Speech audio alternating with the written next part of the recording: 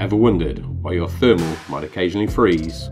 First, let me reassure you, your thermal device is just calibrating its sensor, and it's perfectly normal, like blinking to refresh your eyes. The good news is, all Pulsar thermals put you in control. In your main menu, you have three options to control when your thermal calibrates. Manual, semi-automatic, and the default option of automatic.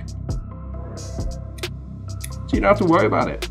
Second option is semi-automatic. That SA at the bottom of the screen tells me I'm in that mode. Just like automatic, it'll drop a shutter in front of the sensor with a little click, momentarily freezing the image. But in semi-automatic, it only does it when you tap the power button as you begin to sense the image going a little bit grainy. And the third option is manual calibration. You need to close the lens cap and tap the power button for this. It's a fail-safe option in case your shutter locks like an extreme cold. And finally, did you know there's a 3 second countdown to each calibration?